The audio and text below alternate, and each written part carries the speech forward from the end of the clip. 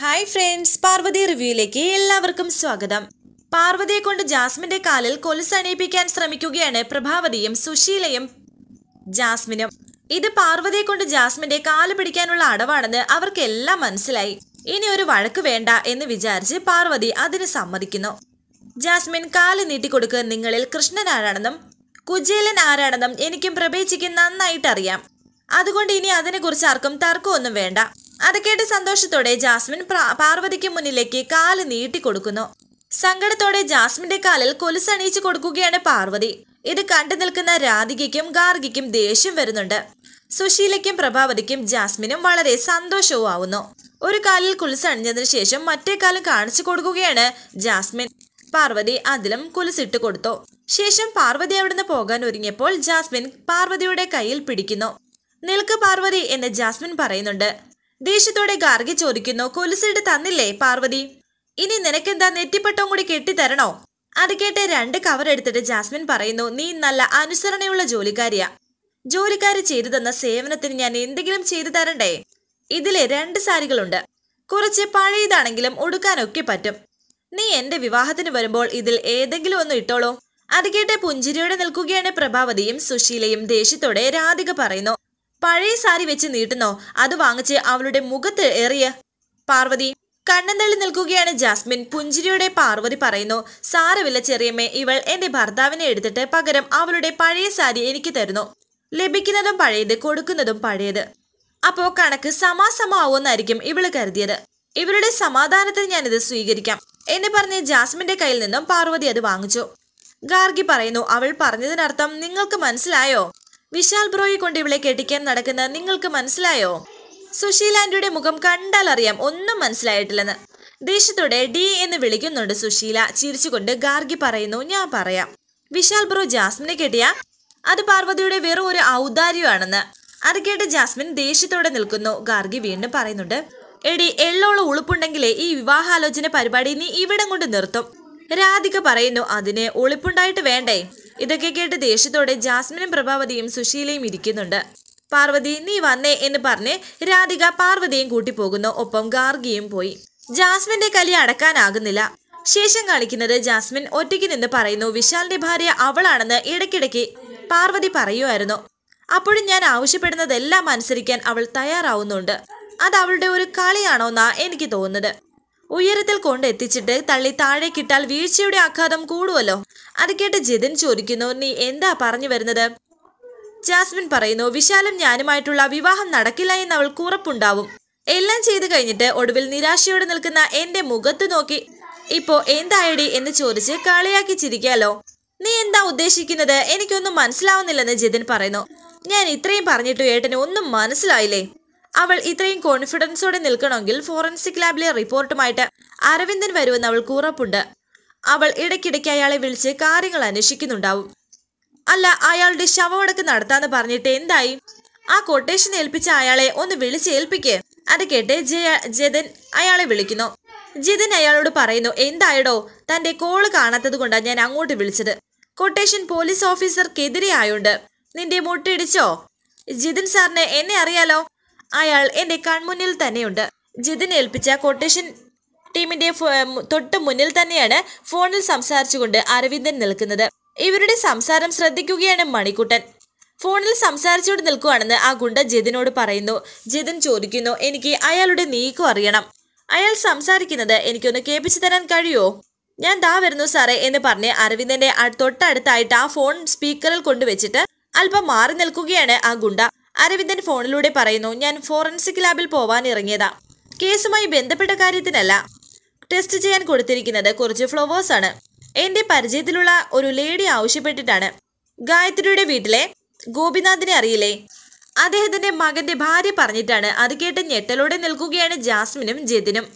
അരവിന്ദൻ പറയുന്നു ആ ഫ്ലവറിൽ പോയിസൺ ഉണ്ടോ എന്ന് അവൾക്കൊരു സംശയം. റിപ്പോർട്ട് പോസിറ്റീവ് ആണെങ്കിൽ ഞാൻ അവിടെ വരെ ഒന്ന് പോകും. ഫ്ലവറിൽ പോയിസൺ സ്പ്രേ ചെയ്തവരെ കണ്ടുപിടിക്കണമല്ലോ. പെട്ടെന്ന് ആ ഫോണും എടുത്ത് അവിടുന്ന് മാറ്റുകയാണ് ഗുണ്ട. എന്നാ ശരി ഞാൻ വിളിക്കാം എന്ന് പറഞ്ഞ് അദ്ദേഹം ഫോൺ വെക്കുന്നു. ഗുണ്ട ജിതിനോട് പറയുന്നു സാർ കേട്ടില്ലേ പറഞ്ഞത്? ജിതിൻ പറയുന്നു എന്നെയും എന്റെ അനിയത്തെയും പൂട്ടാനുള്ള പൂട്ടുമായി അയാൾ ഇങ്ങോട്ട് വരാൻ സാധ്യതയുണ്ട്. ഒരു കാരണവശാലും അയാൾ ഇവിടെ എത്താൻ പാടില്ല. ശരി സാർ സാർ ധൈര്യമായിട്ടിരിക്കെ. അയാൾ അവിടെ എത്തില്ല എന്ന് ആ ഗുണ്ട ജിതിന് ഉറപ്പ് കൊടുക്കുന്നു. ശേഷം വളരെ ടെൻഷനോടെ നിൽക്കുകയാണ് ജിതിനും ജാസ്മിനും. ശേഷം അരവിന്ദിന് മറ്റൊരു കോൾ വന്നു. റിപ്പോർട്ടർ റെഡിയായി. വീട്ടിലാണോ? ഒരു പത്ത് മിനിറ്റിനുള്ളിൽ ഞാൻ അവിടെ എത്താം എന്ന് പറഞ്ഞ് ഫോൺ വെച്ചിട്ടുണ്ട് അരവിന്ദൻ. ഗുണ്ടയുടെ നീക്കവും അരവിന്ദന്റെ പിറകെയുള്ള ആ ഗുണ്ടയുടെ പോക്കുമെല്ലാം മണിക്കൂട്ടൻ അവിടെ നിന്നും ശ്രദ്ധിക്കുന്നുണ്ടായിരുന്നു. സ്കൂട്ടറുമായി അരവിന്ദൻ പോയി. ഒരു ടെമ്പോയിൽ പെട്ടെന്ന് ചാടിക്കേറിയിട്ട് വണ്ടിയിട ആ പോലീസിന്റെ പിന്നാലെ പോ എന്ന് ആ ഗുണ്ട അയാളോട് പറയുന്നു. അങ്ങനെ അരവിന്ദന്റെ പിന്നാലെ പോവുകയാണ് അയാൾ. ആ സമയം വിപിൻ അരവിന്ദനെ ഫോൺ ചെയ്യുന്നുണ്ട് പാർവതി പറഞ്ഞിട്ട്. എന്തായി വിളിച്ചു എന്ന് ചോദിച്ച് ടെൻഷനോടെ അവിടെ നിന്നും ഓടി വരികയാണ് പാർവതി. വിപിൻ പറയുന്നു അരവിന്ദൻ സാർ വീട്ടിലില്ല. ഓഫീസിൽ നമ്പറിലാണെങ്കിൽ വിളിച്ചിട്ട് കിട്ടുന്നതുമില്ല. വിളിച്ചിട്ട് കിട്ടുന്ന വേറെ നമ്പറില്ലേ എന്ന് പാർവതി ചോദിച്ചപ്പോൾ വിപിൻ പറയുന്നു ഉണ്ടാവും പക്ഷേ സ്റ്റേഷനിലുള്ളവർ തരുന്നില്ല. ഇനി എന്ത് ചെയ്യും? എത്രയും പെട്ടെന്ന് ഇവിടെ എത്തണമെന്ന് അരവിന്ദൻ സാറിനെ എങ്ങനെയൊന്ന് അറിയിക്കാം? ജാസ്മിന്റെയും അവളുടെ ചേട്ടന്റെയും ശരിയായ സ്വഭാവം വിശാൽ സാർ മനസ്സിലാക്കണമെങ്കിൽ ആ കടലാസുമായി അരവിന്ദൻ സാർ ഇവിടെ എത്തണം. ചടങ്ങുകൾ തുടങ്ങുന്നതിന് മുന്നേ സാറിനെ ഇവിടെ എത്തിക്കാൻ എന്തെങ്കിലും വഴിയുണ്ടോ വിപിനെ? എന്ന് പാർവതി ടെൻഷനോട് ചോദിച്ചപ്പോൾ വിപിൻ പറയുന്നു ഫോൺ വിളിച്ചിട്ട് കിട്ടുന്നതുമില്ലല്ലോ. സാർ എവിടെയാണെന്ന് അറിഞ്ഞാൽ നേരിട്ട് പോയി പറയായിരുന്നു. അല്ല സാർ ഇപ്പോൾ എവിടെയാണെന്ന് പാർവതിക്ക് അറിയോ? പാർവതി പറയുന്നു അല്ല ഞാൻ എങ്ങനെ അറിയാനാ?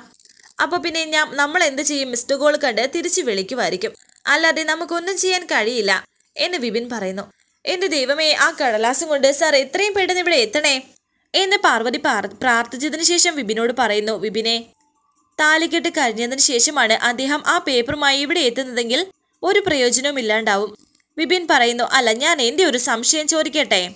ഏട്ടൻ വിവാഹം കഴിക്കാൻ പാർവതി തന്നെയല്ലേ പറഞ്ഞത്? എന്നിട്ട് പാർവതി തന്നെ ആ വിവാഹം നടക്കാതിരിക്കാനുള്ള വഴിയും നോക്കുന്നു. എന്താ ഇതിനർത്ഥം? വിശാൽ സാർ വേറെ വിവാഹം കഴിക്കരുതെന്ന് ഞാൻ ആരോടും പറഞ്ഞിട്ടില്ല. ജാസ്മിൻ വിശാൽ സാറിന്റെ ഭാര്യ ആവരുത് എന്നേ ഞാൻ പറഞ്ഞിട്ടുള്ളൂ. എന്നെ പാർവതി പറഞ്ഞപ്പോൾ വിപിൻ പറയുന്നു പൂക്കൾ ടെസ്റ്റ് ചെയ്ത പേപ്പറുമായി അരവിന്ദൻ സാർ വന്ന് വന്നാൽ വിവാഹം നടക്കില്ല എന്ന് പാർവതിക്ക് ഉറപ്പുണ്ടോ? ആത്മവിശ്വാസത്തോടെ പാർവതി പറയുന്നു ഉറപ്പാണ്. നൂറ് ശതമാനവും ഉറപ്പാണ്. ആ കടലാസ് കണ്ടാൽ വിശാൽ സാർ ഒരിക്കലും ജാസ്മിനെ വിവാഹം ചെയ്യില്ല. ആ സമയം വിശാൽ അവിടേക്ക് വരുന്നു. വിശാലിനെ കണ്ടതും പെട്ടെന്ന് വിപിൻ അവിടെ നിന്നും എണീക്കുന്നുണ്ട്. അല്ല രണ്ടുപേരും തമ്മിൽ എന്താ ഒരു ഗൂഢാലോചന? അത് ഏട്ട എന്ന് പറഞ്ഞ ഒരു പരിങ്ങലോടെ വിപിൻ നിൽക്കുന്നുണ്ട്. ഒന്നും പറയരുത് എന്ന് കണ്ണ് കാണിക്കുകയാണ് പാർവതി വിപിനോട്. ഗൂഢാലോചനയൊന്നുമല്ല. സാറിന്റെ വിവാഹം നടക്കാൻ പോവല്ലേ? പഴയ ഭാര്യ എന്ന നിലയിൽ ഞാൻ എന്തൊക്കെയാ ചെയ്തു കൊടുക്കണ്ടേ എന്ന് വിപിനോട് ഞാൻ ചോദിക്കുകയായിരുന്നു.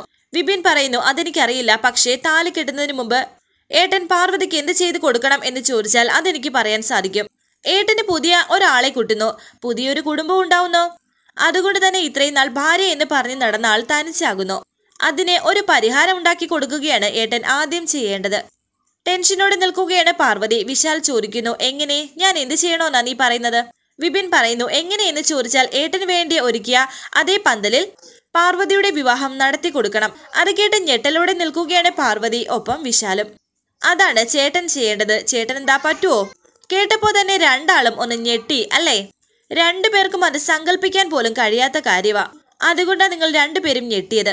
ജാസ്മിനെ വിവാഹം കഴിക്കാൻ ഏട്ടൻ ഇഷ്ടമല്ല. ഏട്ടനെ വിട്ടുകൊടുക്കാൻ പാർവതിക്കും ഇഷ്ടമല്ല. പിന്നെ എന്തിനാ ഏട്ടാ? മറ്റുള്ളവർക്ക് വേണ്ടി ജീവിക്കുന്നതിന് പകരം നിങ്ങൾ നിങ്ങൾക്ക് വേണ്ടി ജീവിക്കേ. എന്ന് വിപിൻ പറഞ്ഞപ്പോൾ കണ്ണ് നിറഞ്ഞുകൊണ്ട് പാർവതി വിശാലിനെ നോക്കുന്നു. സങ്കടത്തോടെ വിശാൽ പാർവതിയെ അവിടെ നിൽക്കാൻ കഴിയാത്തത് കൊണ്ട് പാർവതി പെട്ടെന്ന് അവിടെ നിന്നും പോവുകയാണ്. വിഷമത്തോടെ നിന്ന വിശാലിനോട് വിപിൻ പറയുന്നു ആരും ഒറ്റപ്പെടാൻ ആഗ്രഹിക്കില്ല ആഗ്രഹിക്കില്ലേട്ടാ ആരെയും ഒറ്റപ്പെടുത്താതിരിക്കെ പ്രത്യേകിച്ച് നമ്മുടെ ആത്മാർത്ഥമായി സ്നേഹിക്കുന്നവരെ എന്ന് പറഞ്ഞ് വിപിനും അവിടെ നിന്ന് പോകുന്നു. ശേഷം പൂജാരിയെ കാണാൻ എത്തിയിരിക്കുകയാണ് ഗോപിനാഥും പ്രഭാവതിയും. ഒന്ന് പ്രാർത്ഥിച്ചതിന് ശേഷം അദ്ദേഹം അവരോട് പറയുന്നു നിങ്ങൾ ഇപ്പോൾ താമസിക്കുന്ന വീടിന്റെ അഷ്ടദിക്കുകളും ഞാൻ മനക്കണ്ണിൽ കണ്ടു. കണക്കുകളിലും കോണുകൾ നടത്തിയതിലും ഒട്ടും പിഴവില്ല. പക്ഷേ യമഭീതിയിലാണ് ഭവനം നിൽക്കുന്നത്.